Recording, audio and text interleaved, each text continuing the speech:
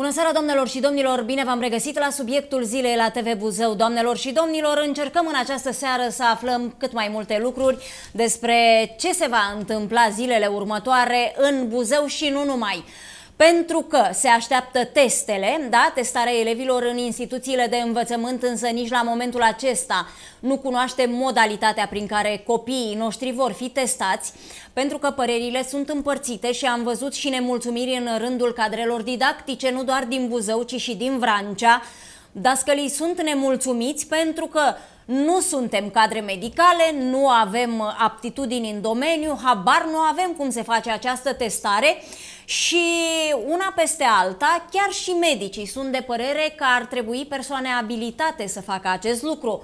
Însă, până când vor sosi testele, pentru că școlile au început deja, mai există școli în online doar în comunitățile unde incidența este în creștere, însă deja în unele instituții de învățământ din mediul rural, elevii merg la școală, Deocamdată așteptăm testele, vom vedea ce se va întâmpla, vom vedea cine va face testarea, cine va mai fi implicat în toată această testare și în această seară vom afla cum stau lucrurile în comunități, dar și în municipiul Buzău.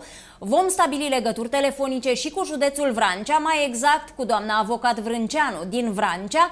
Vom stabili legături telefonice cu domnul Dobre, reprezentantul cadrelor didactice din Buzău, mai exact președintele SIP Buzău. Vom încerca să stabilim legătura și cu inspectorul general școlar. Este vorba despre domnul profesor Ionel Meiroșu și nu în ultimul rând, în această seară vom afla informații proaspete chiar de la prefectul județului Buzău. Este vorba despre domnul Daniel Țiclea.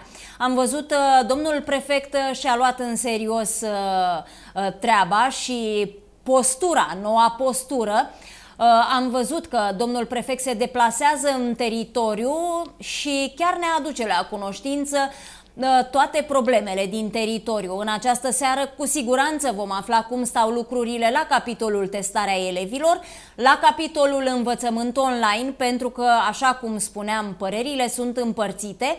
Însă, în această seară mi-am permis să aduc uh, un director din mediul rural, mai exact de la școala din Vernești, pentru că acolo copiii merg fizic la școală. Și dumneavoastră, cadrele didactice, vă întrebați, bun, de ce la Vernești se poate merge la școală, iar în uh, localități din Buzău, cu incidență zero, copiii învață online. Aș uh, enumera doar două localități în această seară cu incidență zero, Colți și Robeasca.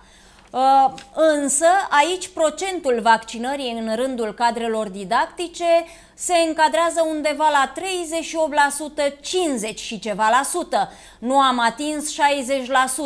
Iată că această problemă a vaccinării, 60%, creează mari nemulțumiri în rândul cadrelor didactice. La Vrancea, primarii împreună cu profesorii din câteva localități au făcut petiție către uh, minister, către guvernanți și vor acționa în instanță acest ordin al Ministrului Educației și Cercetării.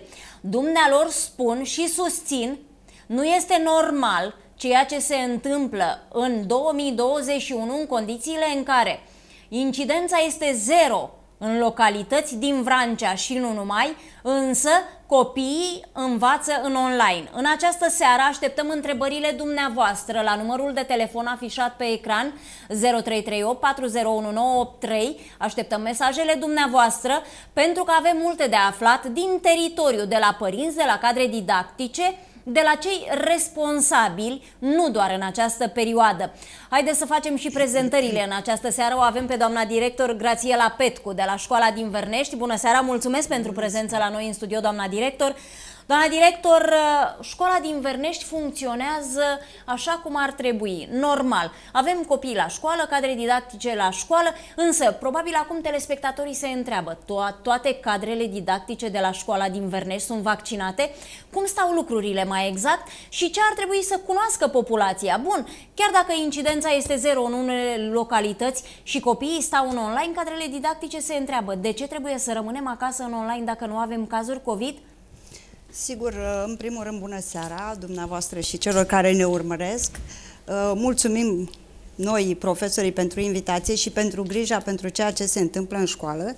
Da, la noi în școală se învață pentru că Deși incidența, gradul acela de incidență este destul de mare, este în scădere de la 9,50 astăzi 8,30 la Vernești. La mii de locuitori, da. în comuna Vernești. Dintre uh, școlile comunei, uh, doar școala gimnazială Jinischi a reușit să învețe pentru că acel grad de vaccinare al personalului este de aproape 70% la nivelul întregii structuri și la fel se depășește uh, pragul acesta de 60-65% și în structurile școlii cu personalitate juridică. Acum, Problema aceasta a vaccinării cu siguranță este o problemă care ține de noi, de fiecare dintre noi, este o problemă care ține de liberul arbitru și atunci eu personal ca director, uh, atitudinea mea a fost să vorbesc cu colegii mei, să ne consultăm, dar până la urmă, în mod firesc, fiecare a ales să se vaccineze sau nu. Doamna director, în cazul colegii dumneavoastră s-au vaccinat în această perioadă a vacanței în... forțate, asta de două mm. săptămâni, sau înainte nu. de vacanța copiilor? Uh, cu puține excepții, cred că două sau maximum trei cazuri, uh, sunt cadrele didactice care au ezitat puțin, au mai așteptat să primească informații sau au trecut prin boală, pentru că Din aici nou, este director, o altă problemă. Ne lovim de informație și de faptul că acea persoană a trecut prin acest COVID. Ă, dacă exista informație așa cum ar fi trebuit de la bun început, cu siguranță, la momentul ăsta, ă, nu vedeam atâția morți zilnic la noi în țară. Sigur, uh, vedeți dumneavoastră, pragul acesta de incidență de 60% și poate, eu astăzi sunt și un reprezentant al colegilor mei, directori, și, dar și profesori. Pragul acesta impus de 60% este cumva nedrept. Și să vă spun de ce este nedrept, pentru că noi în școală avem foarte mulți colegi care au trecut prin boală de curând, acești colegi ai noștri mm. au contraindicație deocamdată să facă vaccinul, ei automat intră în categoria celor care încă nu s-au vaccinat și atunci pragul școlilor, uh, pragul acesta în cazul școlilor care au poate incidență chiar spre zero, uh, nu poate fi atins. Adică acești oameni nu vor putea face vaccinul foarte curând. O să treacă o lună, poate două. Și apoi vor merge să, probabil să se vaccineze, pentru că din semnalele pe care le am de la aceștia, uh, Uh, boala a fost foarte grea și chiar dacă n-au fost vaccinați și au ezitat, acum cu tot sufletul uh, susțin acest demers și sunt siguri că fac un lucru bun.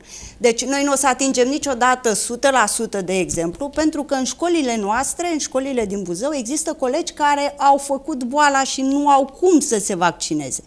Poate că acolo, când calculăm acest prag de 60%, ar trebui să luăm în uh, în... Uh, păi la momentul ăsta, cei care ne urmăresc și în speță autoritățile ar trebui să ia cunoștință de ceea ce ați afirmat dumneavoastră da, la noi în un studio. Un lucru da? cunoscut. Un lucru cunoscut, însă care nu prea s-a adus în discuție în presă zilele acestea. Noi am vorbit la general. O scăpare. Do- da, o scăpare, ca întotdeauna. Nu s-au văzut ghilimelele, doamna director ar trebui să uh, ne gândim totuși la profesorii care au trecut prin COVID. Oamenii ăștia nu pot face imediat acel vaccin, vaccin nu pot face cadrele didactice care au o viroză, nu pot face cadrele Cei didactice care au care contraindicații. au contraindicațiile.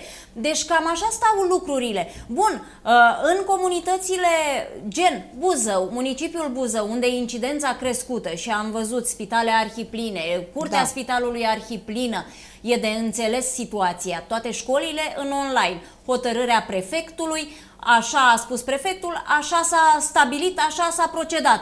Însă, în localitățile cu incidență zero, acolo unde profesorii au interzis de la medicul de familie să se vaccineze și, cum spuneți dumneavoastră, au trecut prin boală, eu zic că acei copii și acele cadre didactice ar trebui să meargă la școală, nu?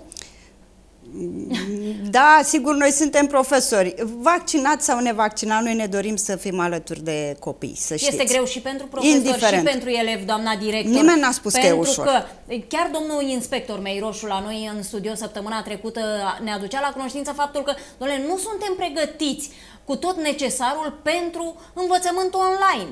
Haideți să fim serioși, avem localități în județul Buzău, avem cătune unde nu se poate nu învăța online. Ce să... fac acei copii, ce fac acele cadre didactice? Să știți că nu doar problema tabletelor există nici pe departe. Este vorba și de uh, conexiunea aceasta la internet, este exact. vorba și de familiile elevilor noștri. De multe ori totul rămâne în seama noastră. Uh, suntem responsabili pentru treaba aceasta, că nu ne ducem doar pentru copiii care sunt foarte buni și oricum sunt sprijiniți de, de părinți.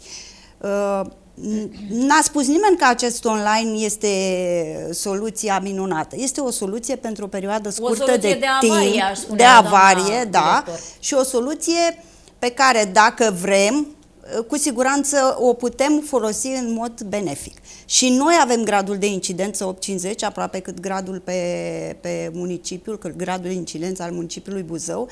Uh, noi am optat să, să începem pentru că, vedeți dumneavoastră, școala noastră este o școală mai mică, mă refer la populația școlară. Câți și atunci, avem la școala din Verdești? 280 numai într-un, uh, într-un singur corp. La momentul ăsta copii cu COVID diagnosticați avem? Am uh, patru copii. Patru, patru copilași copii. avem. Iar da. clasele respective au intrat în online nu, sau au fost pentru că ei copii? sunt... Uh, aici aș vrea să remarc ceva, dacă îmi permiteți. Sunt copii care s-au testat în uh, perioada de vacanță și automat ei au rămas uh, uh, au rămas acasă și n-au afectat pe ceilalți. În, în schimb, în prima zi, pentru că uneori și părinții exagerează, un copil căruia i-a fost rău, o fetiță, Uh, a venit la școală, deși era programată la ora 2 la medicul de familie unde trebuia să facă testul, venind la școală, intrând în uh, legătură cu da. colectivitatea, am fost nevoită din prima zi să trimit în online o, o, clasă. o clasă. Cu părere de rău, asta a fost, dar Până la urmă... Școlile au început, da, cursurile. Avem elevii la școală, avem profesorii la școală, însă unde sunt testele, doamna director? Pentru că și aici avem uh, controverse. Uh, atât medicii cât și cadrele didactice. Cine face testarea? Cum face testarea? Cum să facă un profesor testarea elevului? Noi nu suntem medici, noi nu avem studii în domeniu. Au dreptate dacă îi ascult și pe profesori, însă când nu avem soluții și când nu avem la îndemână decât cadrul didactic, apelăm și la asta, tot soluție de avarie aș numi o eu. Haideți să vedem cum stau lucrurile la Vernești, ce vă spun dumneavoastră colegii. Uh, e o problemă cu care se confruntă întreaga țară. Este cert lucrul acesta, nu avem cabinete medicale în școlile, mai ales în școlile din mediul rural, foarte puține școli sunt fericite. A, soluțiile pe care le avem la dispoziție sunt uh, cele oferite de UAT-uri, de primării, care pot încheia dacă chiar își doresc lucrul acesta și trebuie să-și dorească, pentru că există și un ordin al ministrului care îi obligă... întâlniri, doamna director, sigur, cu ei. Sigur. Chemați dumneavoastră în ședință pe primar dacă primarii Absolut. nu sunt în stare. Fiecare director, păi... nu cred. Eu nu cred că există un director care să nu fi făcut măcar demersurile necesare.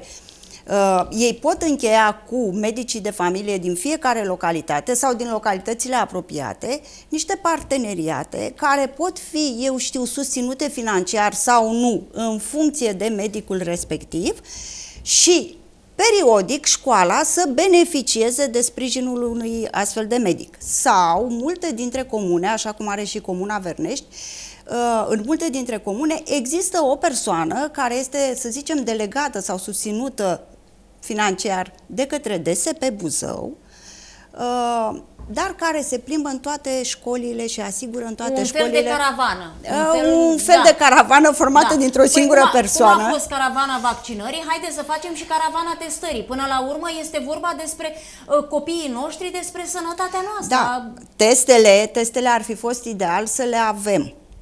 Ar fi fost ideal să avem în fiecare școală câte un asistent medical. Sigur, profesorii îmi spun în felul următor. Pentru copiii noștri și pentru a rămâne la școală, vedem, poate suntem instruiți, poate ne luăm niște măsuri, poate, dar și dâns și se tem.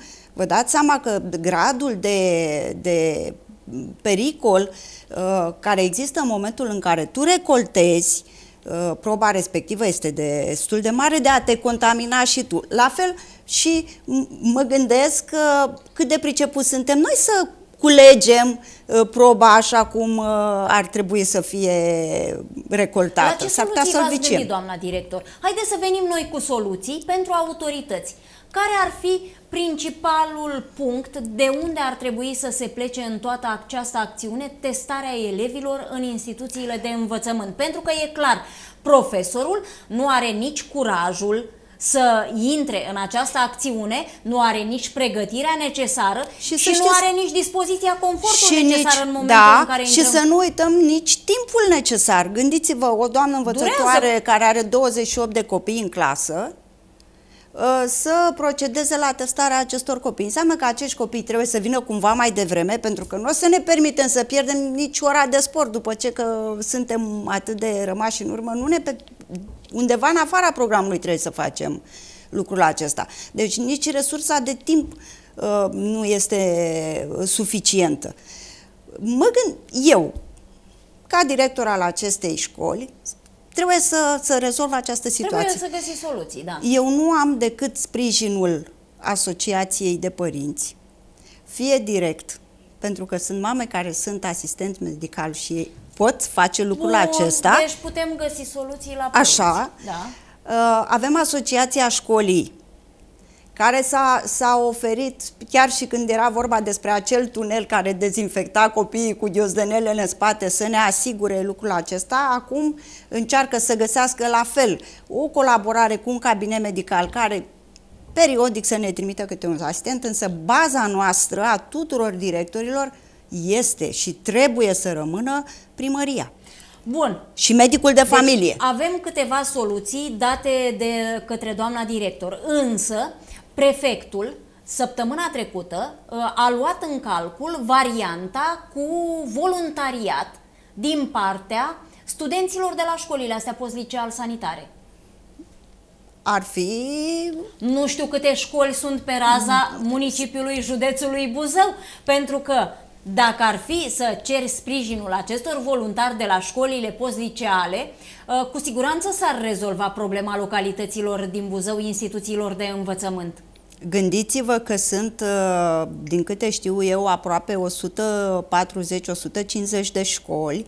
Poate din acestea să, să spunem că 20, 30, 110 școli nu au acești asistenți. Deci am avea nevoie de 110 persoane care să facă testarea care să facă această instituții. testare. O să-i aducem la cunoștință domnului prefect în această seară necesarul cadrelor medicale uh, pentru școlile din uh, comunități, din satele Dar uh, cred că primăriile Cred că primăriile... Ați discutat până la momentul ăsta Da, sigur, dar nu există, nu Ce există, vă spun, doamna director? Sigur, ca și uh, noi, întotdeauna motivează faptul că nu, e, nu reușesc să, să treacă de această mentalitate greșită că medicii oricum câștigă destul de mult și că, și că sumele, sumele solici, da, financiar să-i motivezi înseamnă foarte mult. Dar cum mult. se găsesc bani pentru alte tâmpenii în țara asta și nu mă refer doar la primăria Verneș, la general. Nu se găsesc bani pentru copiii noștri. Dacă vor Uite, dori, vor găsi. Copiii au început școala, nu avem testele. Bun, mâine, poi mâine ajungem iar la valul 5, valul 6.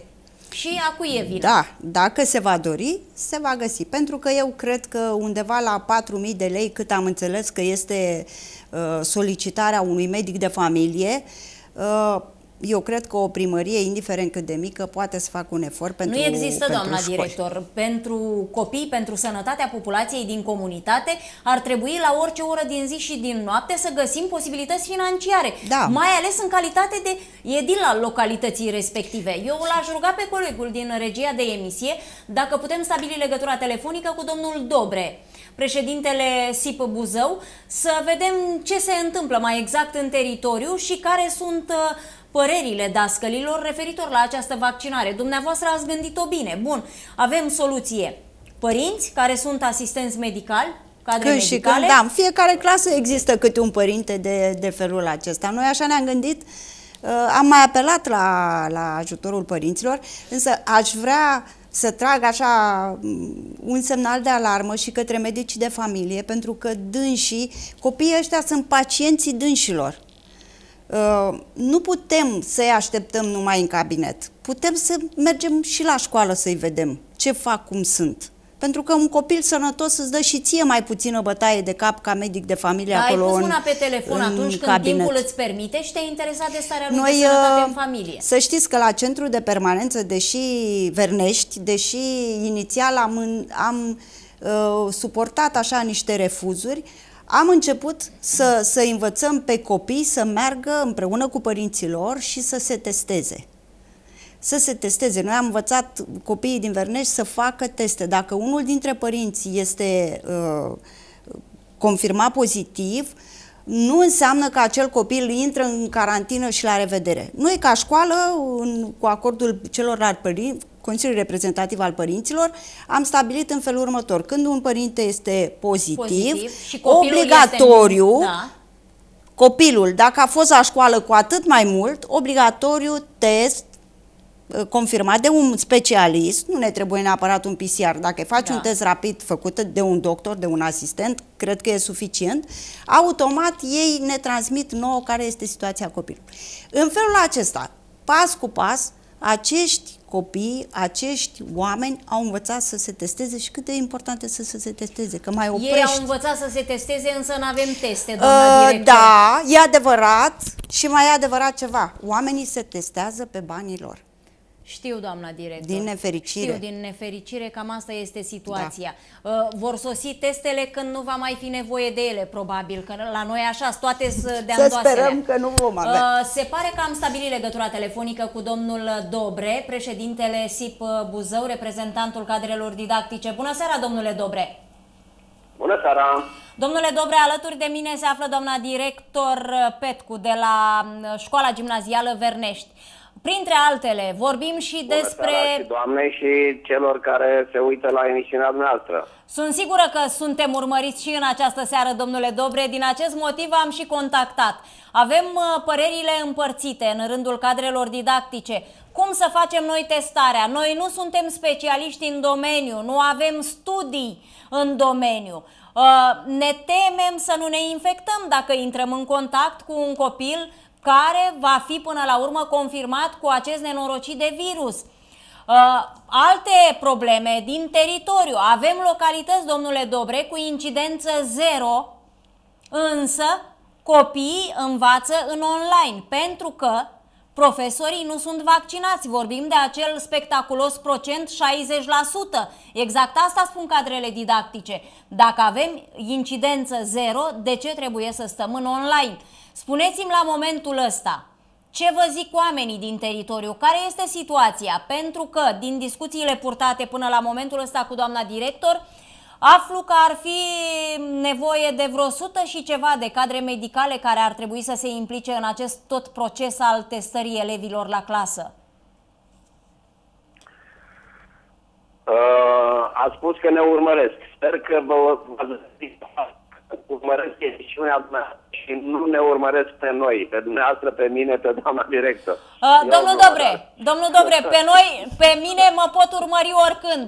Nu am niciun da. fel de problemă cu acest lucru. Nu mă tem, nu mă interesează. Uneori ți se pot uh, înșchela pe care n-ai cum să le dezbați, după, le dezavuiți decât după o perioadă lungă de timp. Când uh, deja... Se pare că nu aveți, nu aveți semnalul cum trebuie la telefon.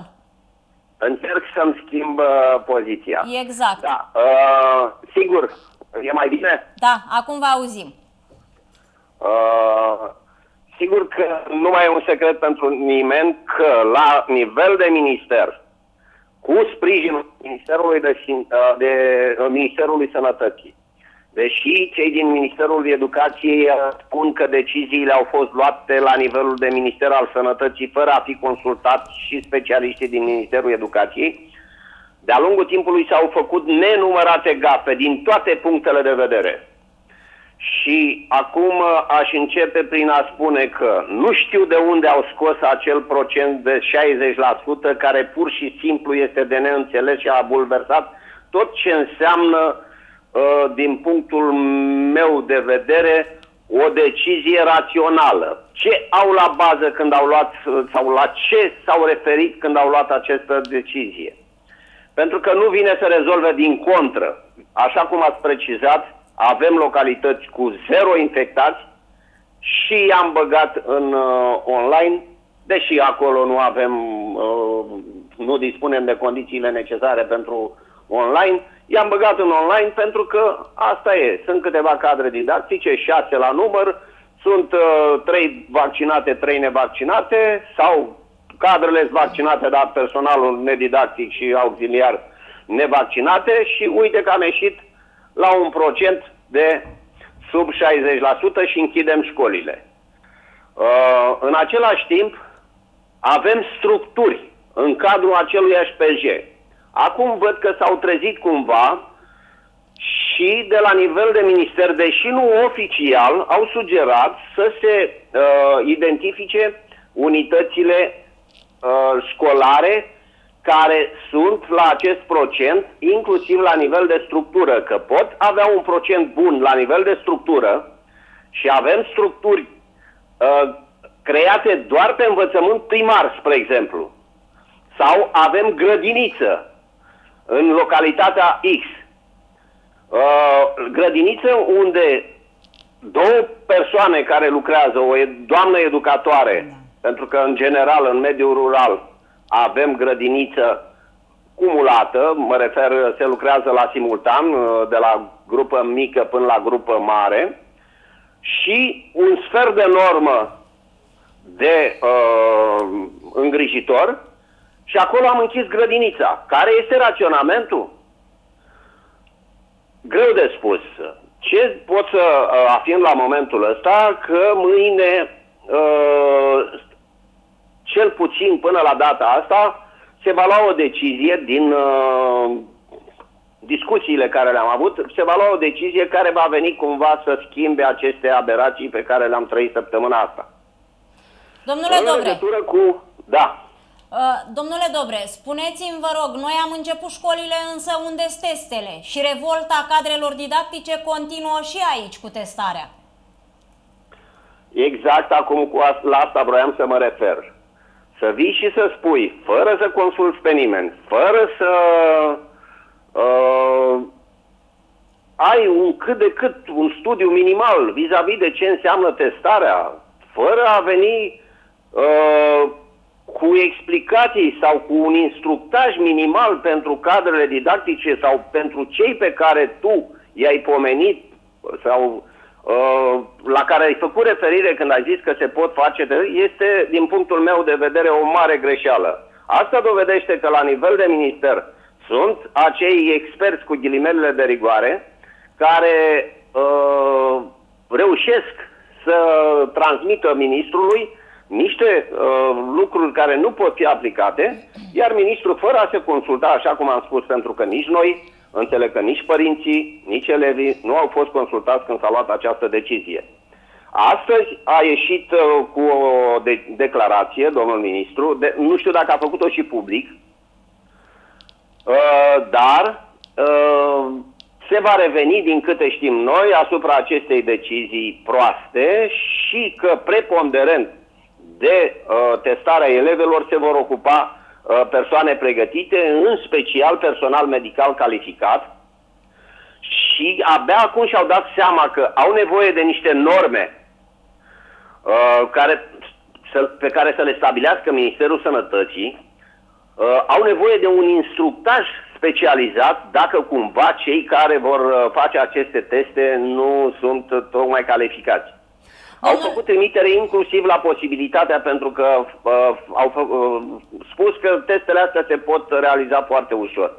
Și au făcut trimitere inclusiv la posibilitatea ca aceste teste să fie făcute de către părinți, de către părinți, de către elevi, sub supravegherea unui cadru didactic, dacă aceștia doresc. Domnule Dobre, uh, eu uh, vă mulțumesc pentru intervenția din această seară.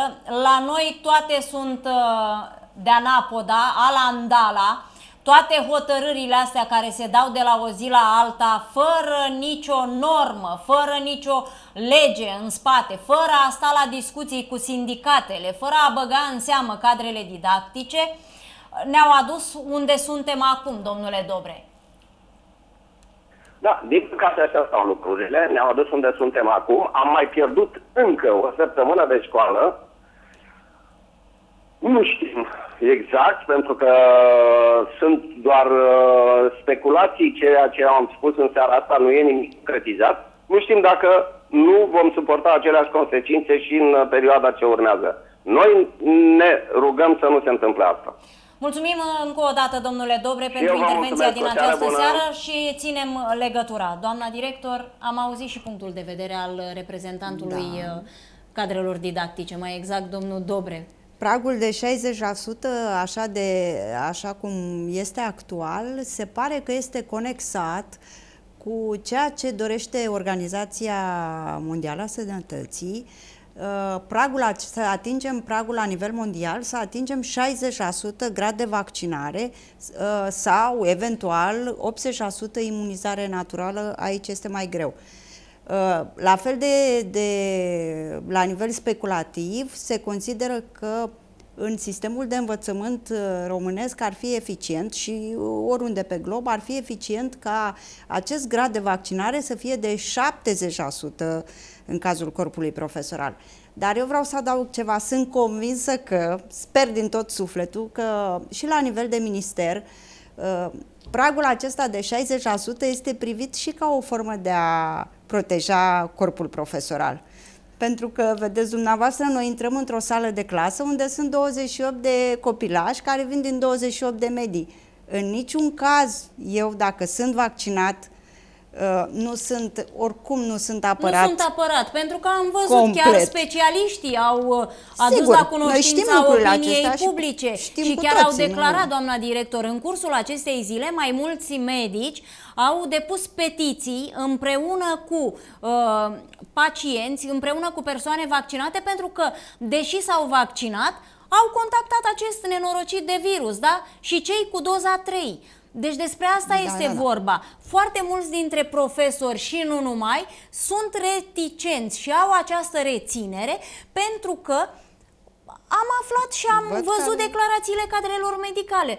Bun, ești vaccinat, dar nu te scutește de a lua acest nenorocit de virus. Nimic. Doar că avem speranța că cumva contactat uh, forma respectivă, forma respectivă nu este atât de grea. Da, dar tot de la cadre medicale am aflat că au fost care au decedat cu doza 2, cu doza 3 și ce doze ori mai urma. Și poate că acest prag de 60%, dacă vor neapărat să-l păstreze, uh, poate fi gândit luând în calcul pe cei care sunt bolnavi sau pe cei care au contraindicație sau să nu uităm că pragul acesta de 60% este, este cal, uh, nu este calculat luându-i în, uh, în evidență și pe cei care au prima doză. Pentru că, să știți, am văzut și la televizor la domnul Gheorghiță, uh, făcea un, o comunicare la un moment dat că a crescut cu 200% vaccinarea uh, la, în, în rândul profesorilor în perioada asta de două săptămâni. Și la mine, doi sau trei colegi, nu știu exact și nu vreau să greșesc, s-au vaccinat în aceste două săptămâni pentru că și-au dat seama că așa vor dânsii. Și atunci, dacă i-am luat și pe aceștia în calcul, că este evident că dacă ai făcut primul vaccin, mergi mai departe pe schema completă. Sunt sigură că ar mai crește. Și mie personal, mi se pare foarte importantă rata de incidență, care spune foarte mult. Rata de incidență nu trebuie să fie omisă. Noi, ca școală, putem să asigurăm și celelalte condiții, adică tot ce înseamnă material dezinfectant, tot ce înseamnă distanțare, tot ce înseamnă supraveghere, pentru că noi am lăsat pauza păi de noi, 5 noi minute. Noi ne-am obișnuit deja, doamna director, cu regulile impuse. Da. Poartă mască, dezinfectează, da. te spală Dar făcute la modul serios, nu doar formal. Câte școli mai are uh, comunitatea din Vernești? Păi avem un, uh, avem un liceu tehnologic da și care are o structură la Zorești, o structură de uh, ciclu gimnazial și o grădiniță și școala de la Cândești, care are ca structură încă o grădiniță. Și sunt în online aceste unități de uh, învățământ? Uh, da, uh, sunt în online ele cu personalitate juridică și structurile lor. Pentru că profesorii nu Pentru sunt că sunt foarte sus procentajele celor două școli, 57, undeva pe acolo. Dar n-au atins 60. Mulți sunt cu, de asta vă spuneam, mulți sunt cu prima doză făcută și ei săptămâna viitoare poate urmează să facă această și noi nu avem cum să raportăm eronat. Păi, nu doamna director, dar acum dacă suntem urmăriți de către autorități, da. în speță, inspectorul școlar general, domnul prefect al județului Buzău, să facă demersurile necesare, să se ia în calcul toate aceste date venite din teritoriu. Da. Bun, avem școli în care s-au vaccinat 50%, 56%, însă sunt în online. Bun, dar nu avem incidență, avem incidență scăzută. Haideți să vedem, ne întâlnim în ședințe și luăm măsuri pentru ce ar trebui să se întâmple în aceste comunități unde incidența este mică, iar numărul cadrelor didactice crescut, însă n-a atins acel procent. Mă gândesc că nici noi nu suntem, știți, noi în general românii suntem luați pe nepregătite. Dacă am toate ne-au luat pe nepregătite în ultimii 30 este ceva posibil, de ani. Sunt sigură că și cei de la minister sau cei care au fixat, iată, Ministerul Sănătății se vehiculează că a fixat acest prag de 60%, sunt convinsă că vor primi, nu doar de la mine în această seară, sau poate și de la mine, dar sau toate, poate și de la sindicat. Doamna director, vor strânge dar și vor ține aceste cont. date ar fi trebuit Da. luate în calcul înainte de a veni tu, Minister al Sănătății, tu, Minister al Educației și Cercetării, cu această hotărâre, cu acest ordin de ministru. Problema este că, așa cum a spus și domnul Dobrea, am mai pierdut o săptămână Exact, Uh, exact. L-aș ruga pe colegul din regia școală. de emisie dacă putem stabili legătura telefonică și cu domnul inspector școlar general, cu domnul profesor Meiroșu, să vedem când vor sosi testele pentru copiii noștri în județul Buzău și care va fi modalitatea de testare, doamna director. Să vedem, poate domnul inspector școlar general vine cu noutăți în această seară. Să sperăm că da. Să știți că noi am beneficiat de sprijinul uh, inspectoratului, așa ca și susținere. Uh, chiar și măști dezinfectant ne-au asigurat. DSP-ul uh, Doamna ne-a director, instruit. și inspectoratul dar școlar până la face, un punct- face exact ce îi se Da. ordonă de la centru, da? Suntem încă un sistem centralizat și atunci N-avem, n-avem încotro, nu? Așa nu avem spun, încotro, uh, dar să profesorii. știți că descentralizarea a funcționat mai bine în pandemie decât în alte perioade. La ce vă referiți, doamna director? Mm, Uitați, și în situația aceasta, pragul acesta uh, ne-a, ne-a omorât pe, pe noi ca școli, dar dacă s-ar lăsa mai multă putere Consiliului de Administrație, să Să ia încercăm, hotărâri, să sigur, găsească soluții, nu? la nivelul comunității, adică chiar să se respecte această descentralizare și în cazul pandemiei. Așa cum am fost lăsați în alte contexte să ne descurcăm și ne-am descurcat, am dat dovadă că ne-am descurcat, cred că și acum, în anumite limite, cred că, iată, cum spunea și dumneavoastră, într-adevăr e o problemă, incidență zero și copiii stau acasă și profesorii stau acasă. Se pare că am stabilit legătura telefonică cu domnul inspector școlar general. Bună seara, domnule inspector! Bună seara, să rămână. Domnul inspector, alături de mine se află doamna director de la școala din Verneș, doamna Petcu. Discutăm despre testare, despre nemulțumirile cadrelor didactice. Am avut legături telefonice și cu domnul Dobre de la sindicat. Se pare că se va reveni la uh, discuții împreună cu reprezentanții Ministerului și Cercetării, Ministerului Sănătății, referitor la acel procent 60%, pentru că avem localități cu incidență zero, dar copiii noștri învață în online. Spuneți-mi la momentul ăsta, când vor sosi testele pentru copiii din instituțiile de învățământ din județ și cine va face această testare, domnule inspector? Din uh, datele pe care le avem, testele urmează să sosească săptămâna viitoare. Așa cum a prezentat și domnul ministru, achiziția respectivă urmează niște pași procedurali de la care nu putem face abatere ni, niciunul dintre noi. Deci săptămâna viitoare urmează să vină testele în școli. Testele sunt foarte ușor de aplicat, sunt foarte ușor de administrat și dacă vom avea o procedură unică transmisă de Ministerul Sănătății, o vom aplica, o vom pune în aplicare, dacă va fi o procedură comună realizată între Ministerul Educației și Ministerul Sănătății. La fel, în momentul primirii testelor sau până la venirea lor, cu siguranță se va elucida și această Domnule problemă inspector. cine și cum aplică testele. Domnule Administrează inspector, testele, uh, vă rog. să înțelegem că există posibilitatea ca această testare să o realizeze cadrele didactice, după cum spuneți dumneavoastră că procesul este ușor? este uh, nu că posibil să o realizeze cadrul didactic, este posibil cadrul didactic doar să asiste pentru a constata rezultatul. Atât timp cât nu se fac manevre, nu se administrează, nu se iau probe, ci doar testul de salivă într-o prubetă de mici dimensiuni, o picătură de salivă pe care apoi o aplică pe senzorul respectiv, nu sunt manevre de natură medicală. Dar dumneavoastră sunteți, mea. dumneavoastră, domnule inspector, sunteți medic, știți dumneavoastră care este situația cu aceste manevre, cât sunt ele de ușoare și cât sunt ele de grave pentru un profesor care ar intra în contact cu un pacient, cu un copil. M-ați întrebat, copil... Părerea, m-ați întrebat părerea mea păi, cu privire la, este punctul meu de vedere personal. Și atât după cum am putut să urmăresc să mă documentez din mass media și din tot internetul, aceste teste non-invazive pe bază de salivă sunt foarte ușor de administrat. Nu, eu zic dar... că ar trebui să ne informăm de la medici, domnul inspector, pentru că dumnealor sunt în măsură să ne explice exact cum stau lucrurile și la ce pericol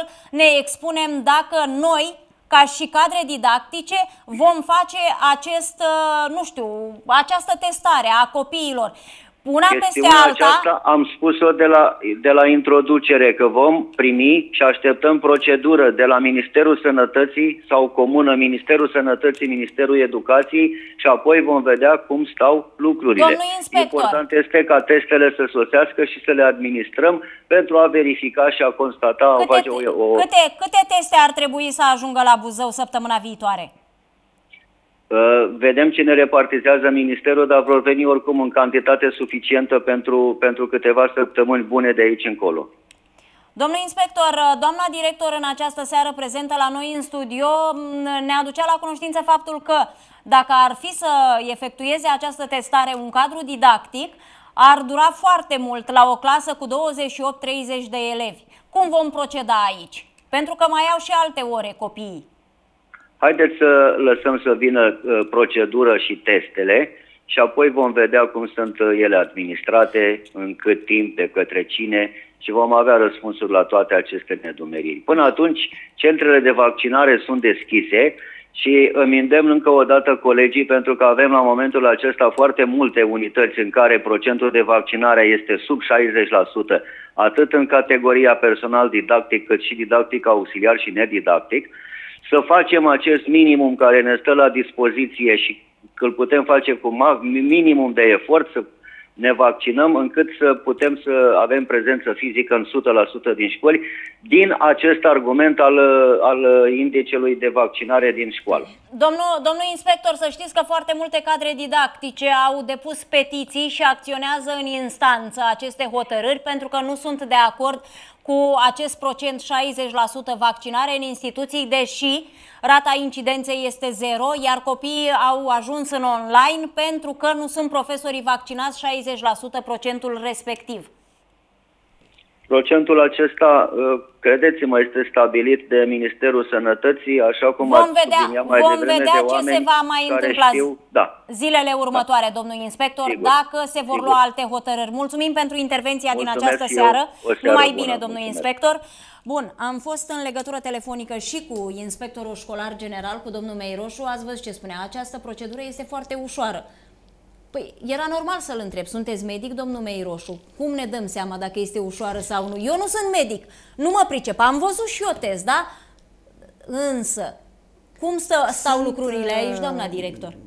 Acum, noi am trecut prin multe în sistemul de învățământ și noi cadrele didactice și de fiecare dată și sunt convinsă că și Ministerul se bazează din nou foarte mult pe noi, uh, dacă vom ajunge și dacă, nu știu, vom avea toate informațiile necesare, indiferent că vom avea și colegi care vor fi reticenți, eu sunt sigură că vom face și lucrul acesta. Veți testa el? Da, pentru că, vedeți dumneavoastră, cu toate temerile noastre, noi nu aveți am, încotro. Nu avem încotro, dar să știți, din natura meseriei noastre, noi ne-am obișnuit să ne asumăm foarte multe riscuri și noi când intrăm în sala de clasă, uh, noi ne preluăm acești copii cumva. Noi îi considerăm ai noștri. Uh, vedeți că și eu câteodată greșesc și spun copiii mei, patru copii ai mei sunt... Uh, noi ne preluăm și probabil că dacă nu vom găsi sprijin în altă parte și probabil că dacă o să fie atât de ușor sau nu o să fie atât de ușor, eu sunt convinsă nu până la urmă. nu ne dăm cu părerea. Da, Aici nu e de eu glumă, vorbesc de meseria mea de, exact. de profesor da. și de om. În meseria mea e ușor, dar ca medic nu-mi pot da cu părerea. Sunt sigură Absolut. că nu este ușoară această meserie.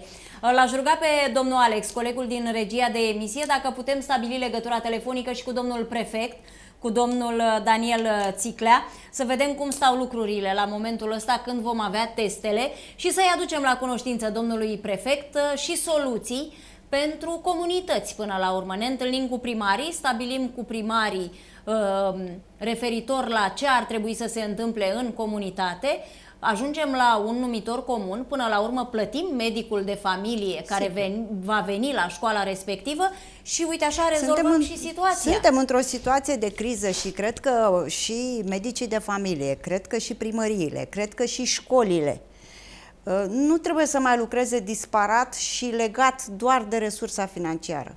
Măcar în perioada asta, chiar și medicii de familie, zic eu, ar putea standardele să fie coborâte puțin mai jos, încât să le fie bine copiilor. Haideți să vedem dacă am uh, stabilit legătura telefonică cu domnul prefect. Bună seara, domnule prefect! Bună seara! Domnule prefect, alături de mine se află doamna director de la școala gimnazială din Vernești, doamna Petcu. Uh, discutăm în această seară, domnule prefect, despre situația unităților de învățământ din județul Buzău și nu numai, despre nemulțumirile unor cadre didactice referitor la acel procent 60% instituit pentru toată lumea în instituțiile de învățământ, chiar și acolo unde incidența este zero ă, sau incidență scăzută, Însă sunt și unități de învățământ unde procentul cadrelor didactice vaccinate ajunge undeva la 50 însă n-atinge 60% și acolo sunt nemulțumiri pentru că acei copii sunt în online la fel și cadrele didactice, sunt profesori care au trecut prin boală, care nu pot face acea doza a vaccinului, sunt profesori care au uh, restricții din partea medicului de familie pentru că nu pot face acest vaccin și exemplele pot continua. Cum procedăm, domnule prefect, la momentul ăsta? Bun, am văzut, s-au mai liniștit lucrurile zilele trecute la Buzău pentru că dumneavoastră ați luat hotărârea direct. Vom închide școlile, toată lumea în online în municipiul Buzău. Cum stau lucrurile la momentul ăsta, domnule prefect, și cu ce noutăți veniți în această seară? Uh, în primul rând n-am luat eu uh, hotărârea, hotărârea au luat-o Consiliul de Administrație. E adevărat, eu am eu am avut o campanie de lobby și de convingere a tuturor oamenilor că este cea mai bună soluție.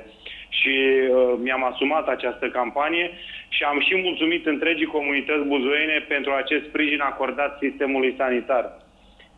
Uh, în legătură cu ceea ce se va întâmpla de mâine încolo, cu toții, cu toții așteptăm uh, ca mâine, în prima parte a zilei, să apară un nou ordin de ministru și după cum știți, uh, promisiunea este că uh, se va reglementa și problema cu cei 60% pentru comunitățile care nu au probleme grave de infectare, adică probabil pentru comunitățile care sunt uh, sub 3 la mie. Mă uit acum pe situația de astăzi, exact la Vernești, 8.30. Hai să vedem dacă găsesc eu 8.30, domnul prefect, 8.30.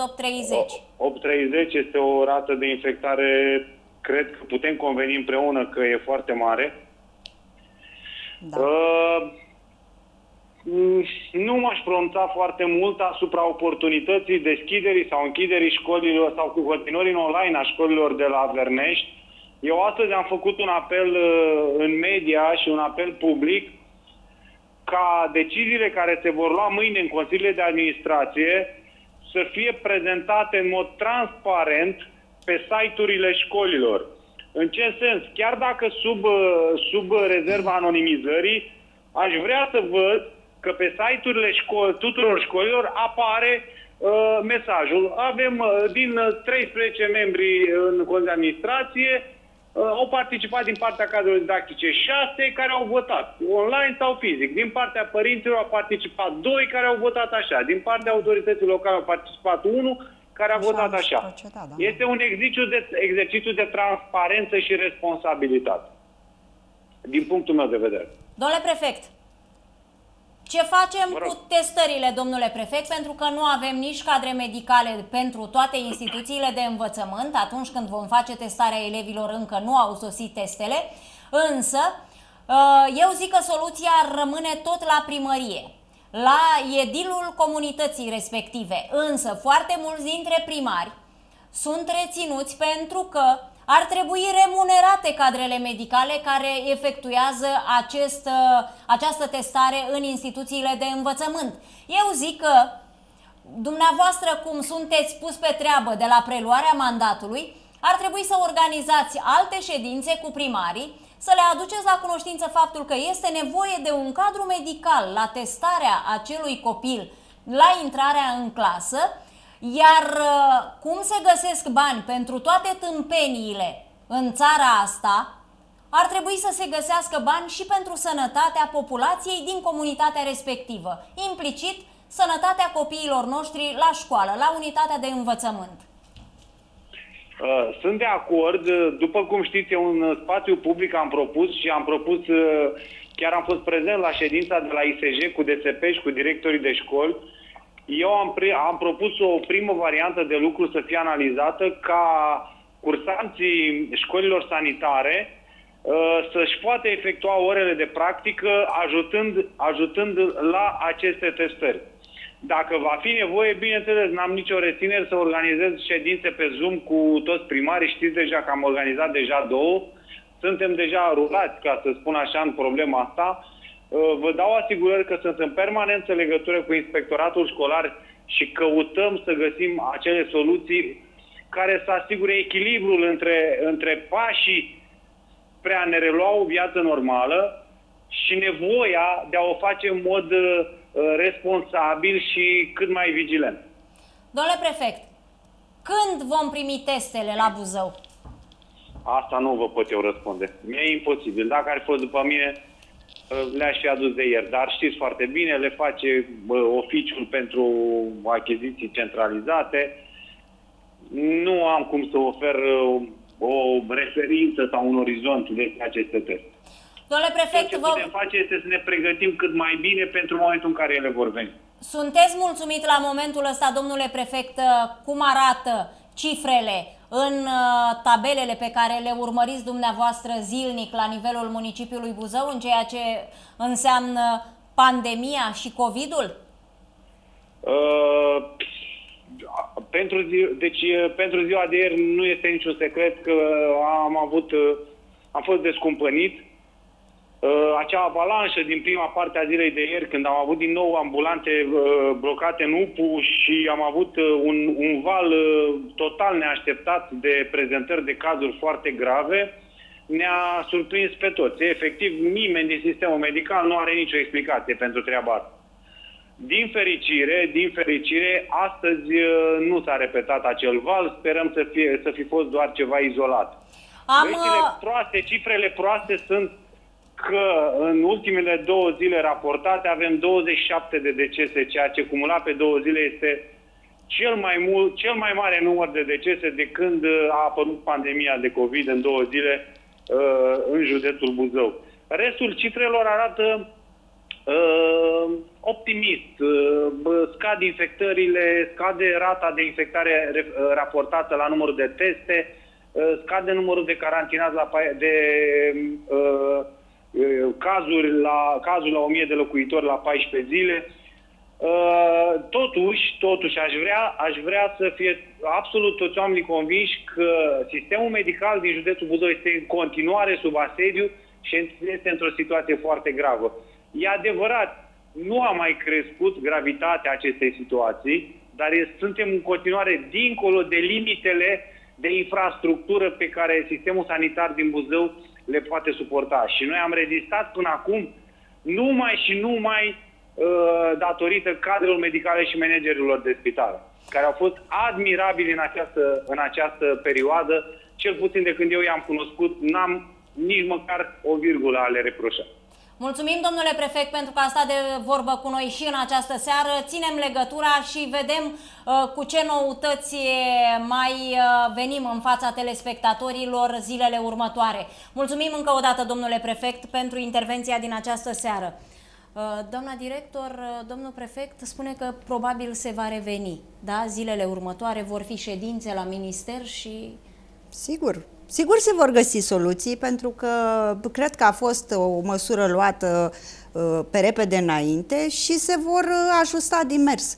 Uh, cazul Verneștiului cu o rată de incidență mare, cu profesori vaccinați, și noi am luat în calcul ca această săptămână să lucrăm online. Dar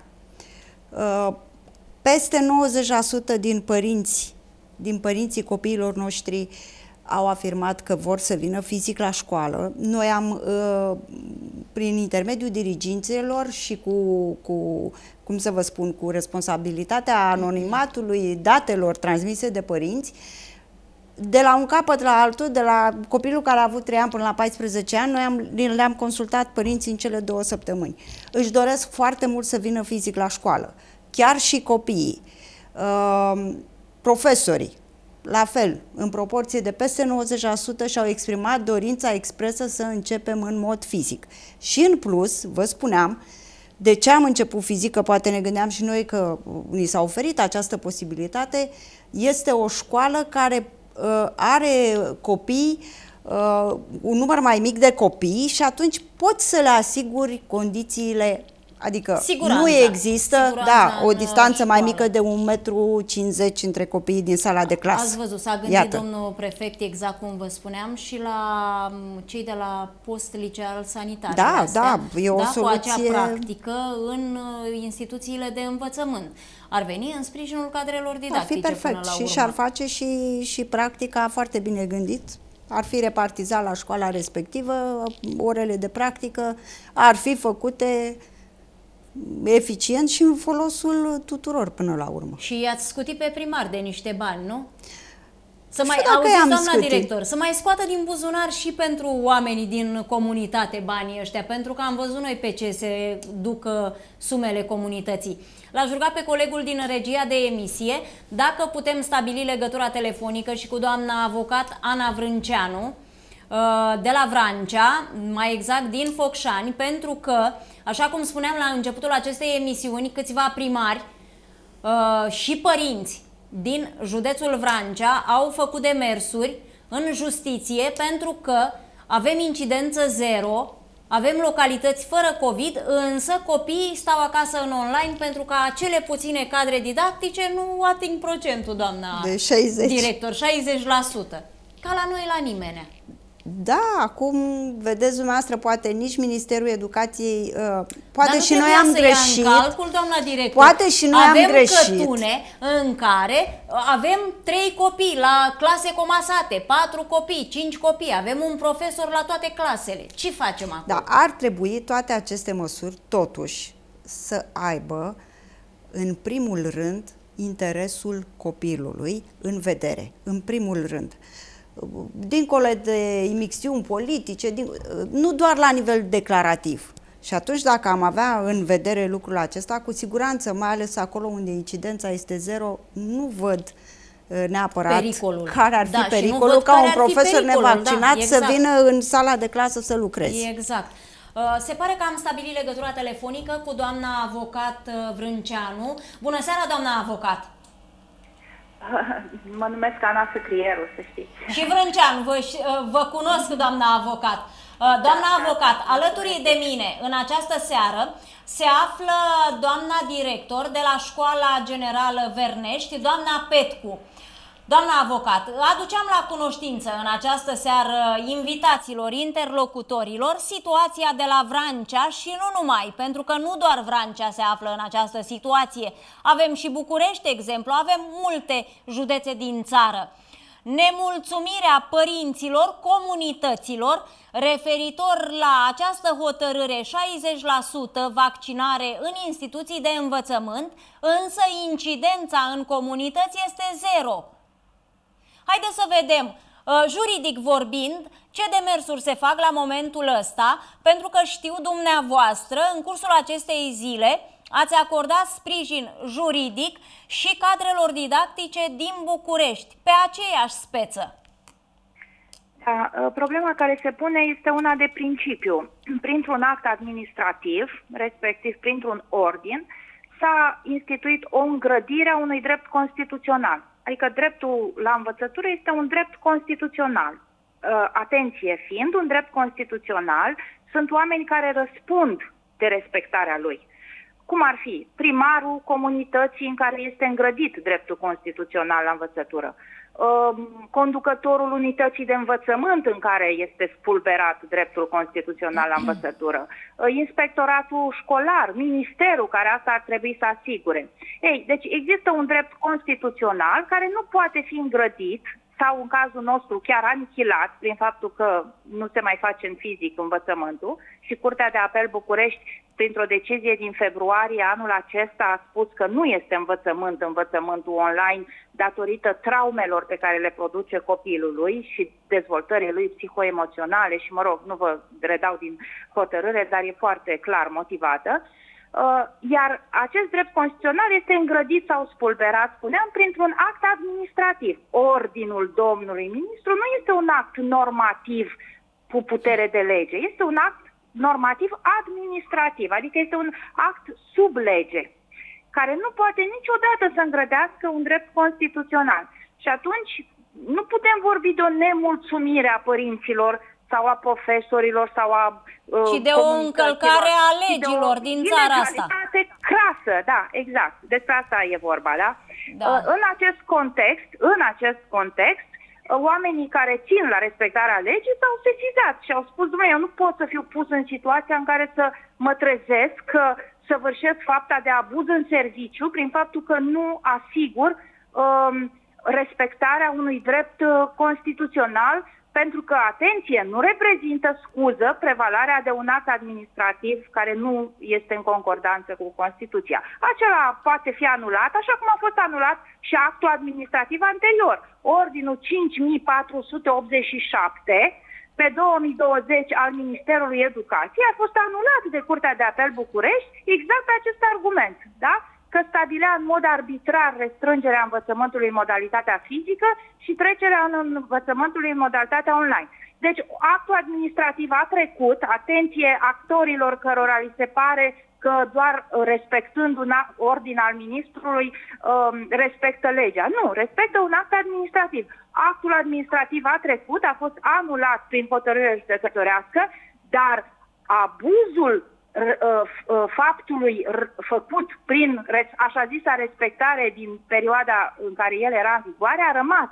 Și de aceea, atenție mare când uh, credem, când ne repezim așa să facem lucrurile. Lucrurile se fac cum trebuie, adică așezat, și cu căutarea dispoziției legale. Scrie undeva, de exemplu, în legea 55, legea care ne stabilește nouă măsurile în situația de alertă în care ne aflăm. Scrie undeva în legea 55 această posibilitate de restrângere a dreptului constituțional la învățătură? Nu. Și atunci, cum, cum poți să vii și să faci așa ceva?